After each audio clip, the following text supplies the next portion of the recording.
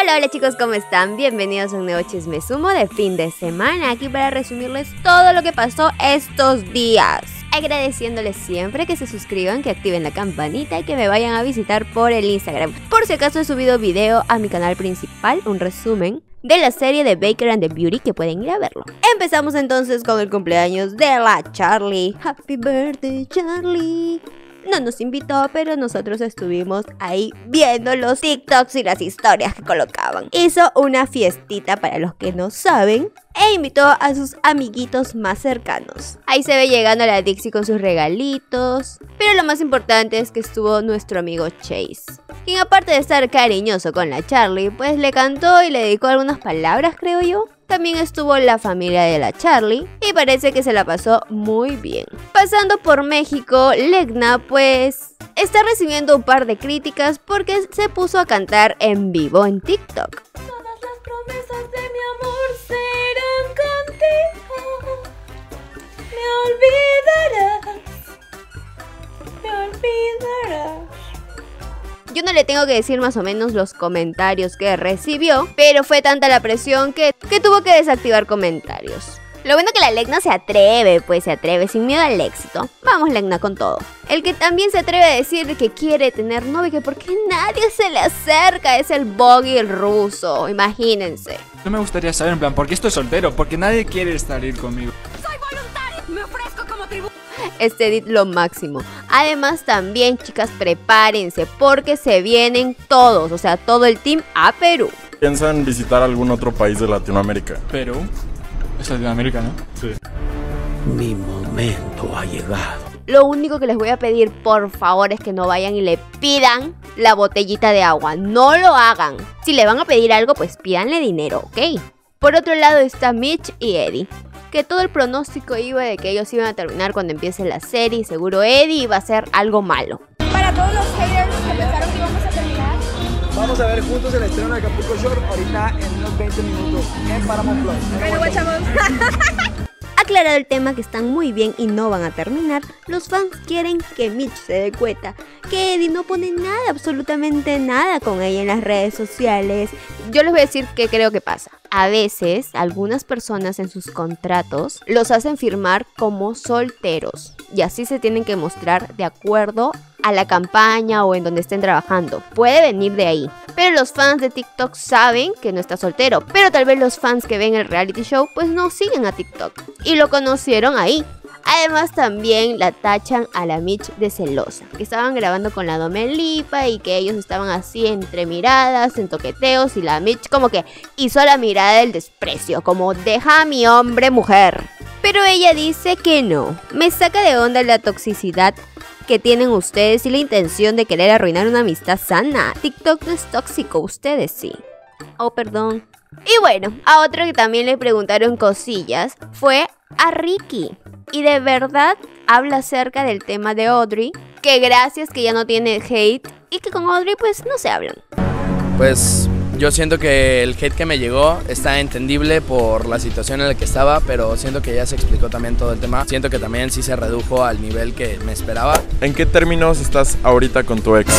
Ok, pues está medio rara la situación, que no estamos muy bien, pero tampoco tenemos problemas. La verdad es que desde lo que pasó de todo este tema, no hemos vuelto a tocar el tema, ni siquiera hemos hablado entre nosotros. ¿Y te gustaría hablar con ella? Sinceramente no. Además afirma que sí estuvo saliendo con Eileen, o sea, sí hubo algo. Ricky, ¿te gusta Eileen o por qué me lo preguntaron tanto? No, no me gusta Eileen. Salimos en algún momento, pero pues Y para completar, pasando a Aileen, pues se metió en otro problemita. Por decirle a Fer, niña. Es que me de preguntar por esa niña.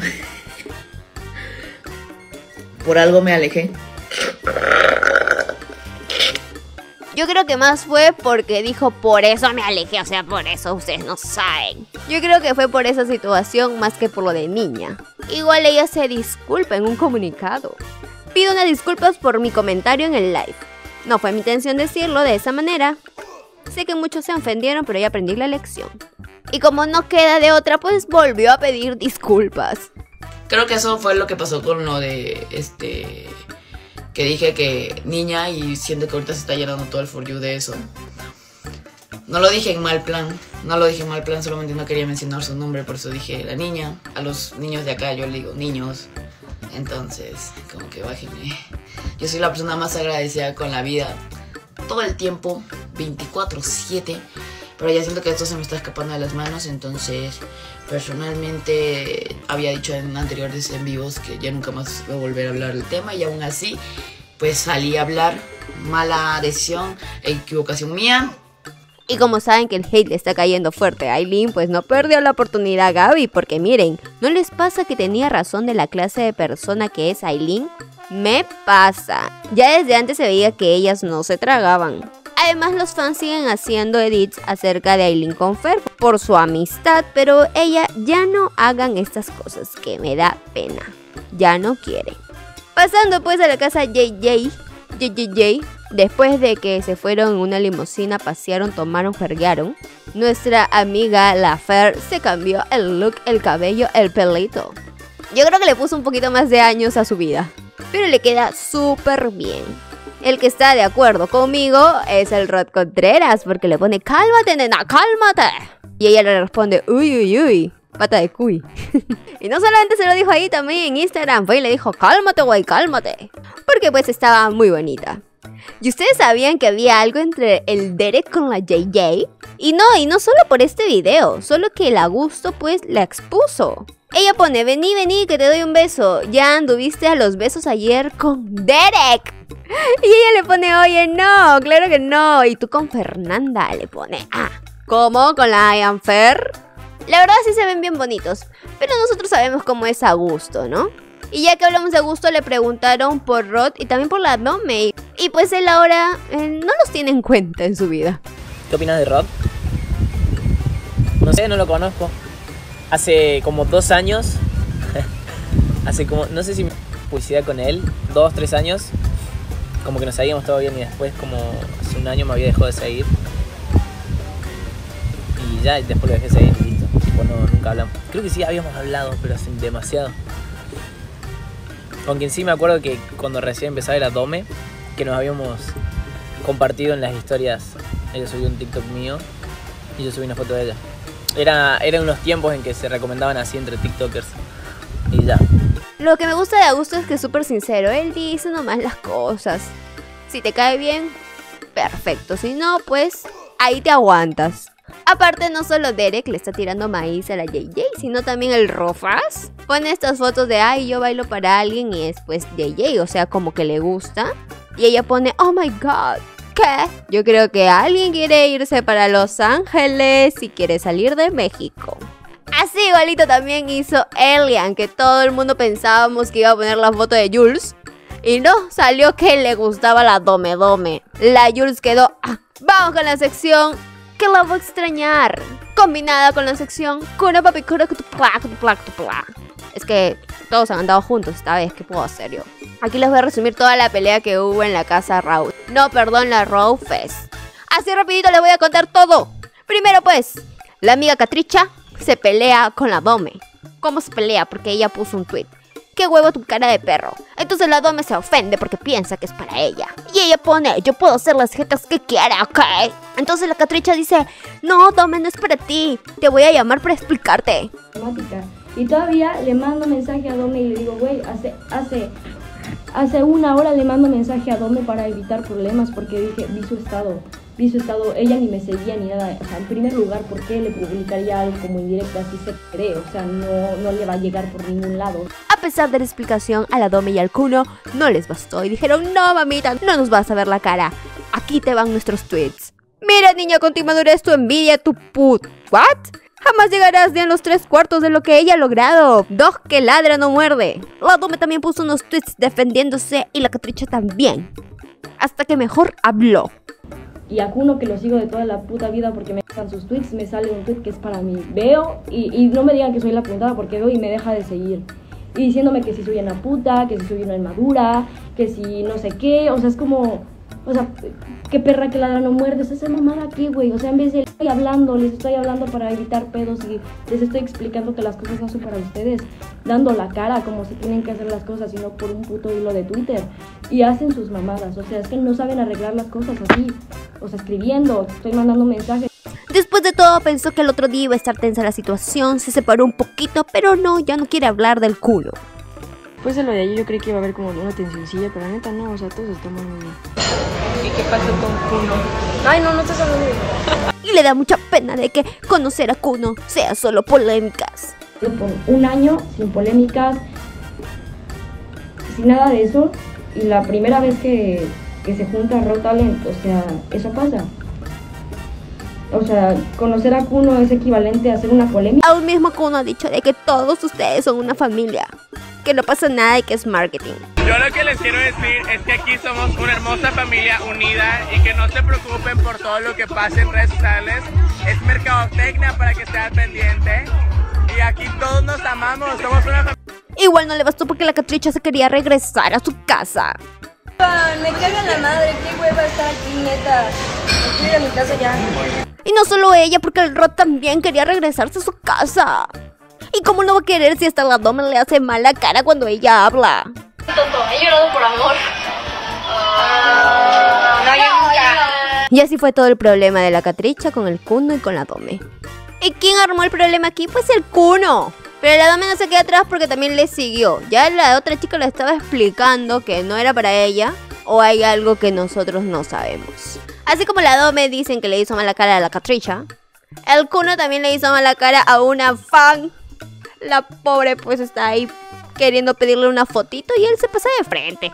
Y como le estaba cayendo hate porque le pidió la foto, ella dice, yo entiendo que muchos lo admiran y lo respeto, subí el video para que vean cómo son. Les puedo decir que Lily, Mitch, Rod y los demás son top. Y hasta se tomó fotos, bailó con ellos. Imagínense con el Lele Pons que ha salido hasta en los programas más importantes de USA. Está ahí todo humilde. Pero ya conocemos a Kuno. Lo bueno que cuando se fueron a su casa sí se llegó a tomar fotos en el aeropuerto con algunas fans. Ahora ya me estoy creyendo de los 1200 pesos en persona. Ahora pues estos dos ya están en Monterrey y dice que el Víctor también según lo que él etiqueta. Y ya se viene ya en estos días la canción con Víctor y Dome. ¿Habrá beso o no habrá beso? Yo creo que sí hay un chapetex. Y por si acaso llegamos a la conclusión de que Víctor y Rod no tienen ninguna pelea, ninguna bronca ni nada. Ellos compartieron bastante tiempo juntos cuando estuvieron en el Raw Fest. Al contrario que Kuno, que ya parece no pasa nada, él mismo dice que dejen esas cosas en el pasado, hasta lo dejó de seguir. Esa relación se terminó. O sea, la amistad. Para los que dicen que no les gustó la Raw Fest, se viene ahora la casa Raw. Que eso no dijeron al principio, yo me acuerdo exactamente que dijeron que ahora se iba a llamar Raw Fest. Pero como no les ha funcionado mucho, eso de los invitados, pues mejor que hagan su casita Raw ellos solitos. Y eso también les piden los fans, que ya no inviten a nadie, por favor. Y ya los chicos lo están anunciando, lo anuncia Vane, lo anuncia Brianda, Audrey y todos los demás que se viene la casa Raw. Y no les dije, ahora la casa Raw como está bien activa, ya me está otra vez bloqueando los videos de sus ídolos favoritos. Así que por eso ahora pongo fotitos, ya no puedo poner videitos. Hasta que se desactiven y se olviden de mí. Por otra parte, el Kevlex, que es el más tranquilo de esta sección en este momento, pues pone ya quiero tenerte. Imaginamos nosotros que es para Ignacia, porque ella le pone corazoncito, ojitos de corazón en sus comentarios. Y él le pone like cuando le dicen que pueden ser la pareja del año. En cambio, cuando le dicen, oye, la pareja del año con la Ferry, el Nel, Nel, Nel, amigo, Nel, no, no pasa por ahí. En estos días dice que nos va a dar una sorpresa porque va a mostrar sus nuevos dientes. Ya le van a quitar los brackets. O sea, yo creo que ya se los quitaron, pero no, no, todavía no abre la boca, no los puedo ver completos. Yo ya quiero que llegue ese día también. Vamos con la sección Privé. Quédate aquí para ver a Privé. Resulta pues que el Jan se enfermó. Está enfermito en su casa. Anoche pasé las noches más gonorreas que he tenido. Me levanté como a las 2 de la mañana, 4 de la mañana, 5 y media de la mañana, 7 de la mañana, no he dormido. Fatal, fatal, fatal. No, no sé por qué. Ah, ay, me... Publicidad no paga, pero ¿por qué dicen que este es el, el de coco es el más feo? Pocas veces me ha tocado tomar suero y cuando lo, te- lo tomo es porque de verdad lo necesito mal. Porque ustedes saben, pues me, me la paso haciendo ejercicio y así. Pero fatal, o sea, me siento fatal. Y, Y, este de hecho es el que más me gusta, como que es el único que me gusta, el de coco. Porque sabe como a coquito. Pero, porque dicen que. Lo bueno que anuncia que ya se siente mucho mejor, pero sigue en cama sin poder moverse. La Darian preocupada le pone mi gordi. Y por otro lado, o sea, en el otro continente, ¿se acuerdan de que Mar y Nain habían terminado y todos pensaban que era marketing? Hasta ella borró las fotos, los comentarios de Nain, dejó solamente algunos videos. No se sabe si los archivó o los borró. Ahora que ya salió, mala mía, porque ya salió, pues no ha regresado. Aunque los han visto juntos en reuniones, ahora reuniones de trabajo nomás. Porque Naim, no van a creer esto, se va de TikTok. Así lo anunció porque va a comenzar su vida de empresario y ahora tiene en mente hacer un curso para que tú puedas crecer en TikTok como él lo hizo. Veo que antes que os lo dijera yo, algunos que ya por Twitter se han dado cuenta de lo que estamos preparando. Para los que no saben lo que estoy preparando, esto es un curso. Aunque a muchos les haga gracia, yo a mis 19 años tengo mi vida resuelta. Desde los 13 años llevo en esta plataforma, es decir, unos 6 años. TikTok es la aplicación del momento, la número uno. Yo soy el mayor exponente de mi país de esta plataforma. Te vengo a decir que sí, sí se puede vivir de esto. De algo que consumes muchísimo pero no monetizas, ¿verdad? Algo que te quita un montón de horas y no has ganado ni un duro. En mi curso yo te enseño a cómo ganar dinero, cómo monetizar y a cómo llegar a lo que yo he conseguido. Esto si lo estoy vendiendo es porque yo ya me retiro de TikTok, me he aburrido. Aburre tanto estar arriba que por favor los demás influencers que se miren el curso porque les va a ayudar un poco. Voy a la música porque ahora es lo que me gusta, me retiro de TikTok. Por eso que he hecho este curso, para regalaros a vosotros esa información. Mucha más útil que muchas de vuestras clases. Miren, ustedes saben que el Nain no es de mis favoritos. Pero yo creo que eso de irse, que sus amigos nunca fueron a verlo, que prácticamente le dejaron de hablar, como que lo deprimió un poquito. Él tiene otra mirada aquí en México y otra mirada cuando llegó a España. Llegó a España ilusionado de que ellos podían ir y cuando llegó el día pues ya lo ven, lo veo con cara de, de tristeza la verdad. Además, Orson, ahora el Orson entrevistador, le pregunta qué pasó con Mar. ¿Qué pasó? ¿Qué pasó con Mar? Qué canalla, bro. Con, con Mar eh, simplemente... Pero simplemente no, las cosas no, no, han, ido, no han ido bien y, y nos, nos llevamos súper bien, pero no podemos, no podemos tener nada. Hermano, pues... Es, es mejor, bro, es mejor a veces cortar por lo sano que acabar mal, ¿no? No, es mejor cortar por lo sano y dar por el... ¡Ah! ¿La quieres mucho? Sí, sí, sí. No, o sea, no, no la voy a... No, no se va a ir de mi vida. Después de eso se cortó ya, dejaron de conversar. Aunque siguieron conversando con otros temas y salió lo que yo pensé y que ustedes seguro también. Que Daniel y Marian habían tenido algo al comienzo. Sí que sí. Hermano, Pues. Lo, en, en resumen, a mí Marian me gustaba y luego fuimos compas. ¿Quieres que conteste yo primero? Sí.